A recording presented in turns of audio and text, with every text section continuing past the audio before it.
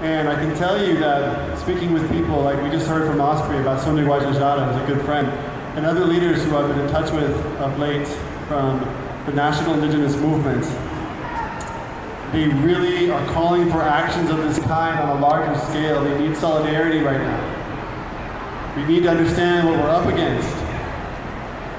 We know about fascism in this country. We know Donald Trump. We know about a regime that's out of control. But Bolsonaro, his, his government's worse.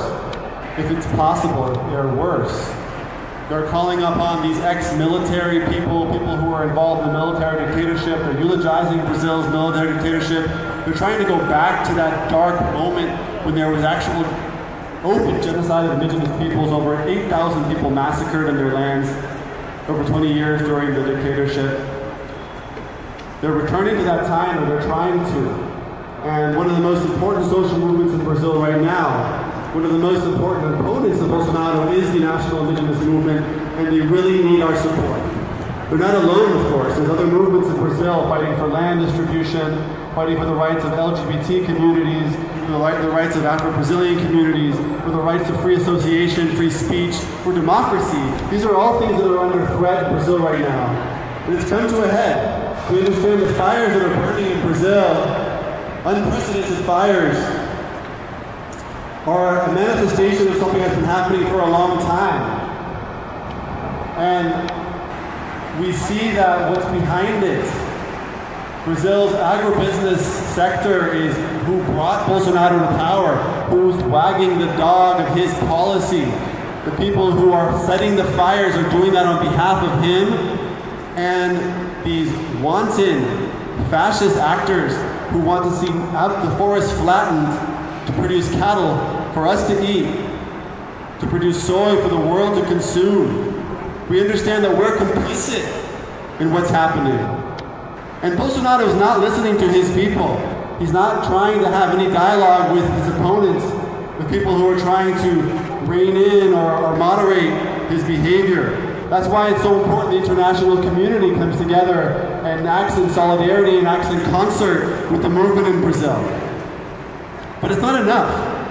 The man is a pariah, his government's a pariah. Brazil is unfortunately becoming a pariah state when it, become, when it comes to the question of environmental protection and human rights. So do they care about their reputation? I don't think so, except for when it translates into money. Money is what they care about. And we have a lot to say in how that agribusiness sector is able to continue selling its wares, continue to find markets internationally.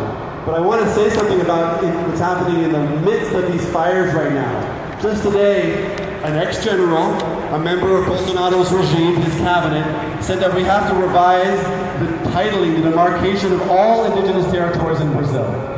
Can you believe the audacity of these people while these fires are burning in 150 indigenous territories right now? and across 33% of the fires are burning in protected areas of the Brazilian Amazon. We're seeing this crisis of global scale, this global emergency emerging. We see these people calling for all of the protections to be removed of indigenous territories. We see people in Brazil's Congress trying to open up these territories to mining, to agribusiness, to infrastructure development, all of this in the name of greed. And we're behind them somehow, we're supporting them somehow. How? Our friend Jeff here will talk about that. But Amazon Watch is also looking at actors, and just today we're launching a list of the 30 dozen companies that we are patronizing, be them the sellers of our meats, of other products that we consume, the financial institutions that we have our, have our money at or our investments at. We need to understand how we're complicit. And we need to make our voices heard in the streets and in their pockets. Next week, Thursday, there's going to be a major international mobilization. This beautiful action that we're at today is a precursor to that. We need to come back. We need to come back and make our voices heard. We need to be solidarity with the hundreds of actions that are happening in Brazil. We're taking the lead for Brazil's movement. We're not acting alone. They need to understand they're not alone. So uh, let me pass the mic here to Jeff, who can tell you a bit more about some of these financial institutions and how we can take concrete action here today. Thank you so much. Thank you, Christian. Hello, good morning, relatives. Uh, my name is Jeff Conant. I live here in occupied Chochenyo Ohlone territory, and I uh, direct the International Forests Program with Friends of the Earth.